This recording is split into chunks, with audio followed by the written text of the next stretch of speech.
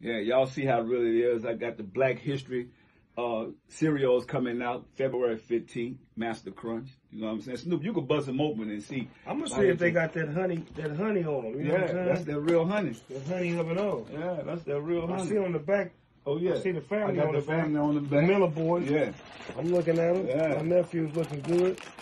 we can own stuff. That's what people got to realize. We can own stuff. This nigga got the recipe. See, that's what I'm saying. That's what I'm saying. Throw the recipe. This nigga got the recipe. This motherfucker just add milk and cold milk and I'm good. Mm. So yeah, this history right here, y'all. This the this the first box right here that uh you know me and Snoop we came a long way.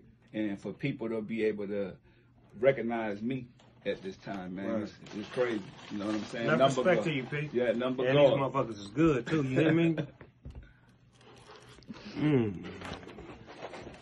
Master Crunch, baby, get you some.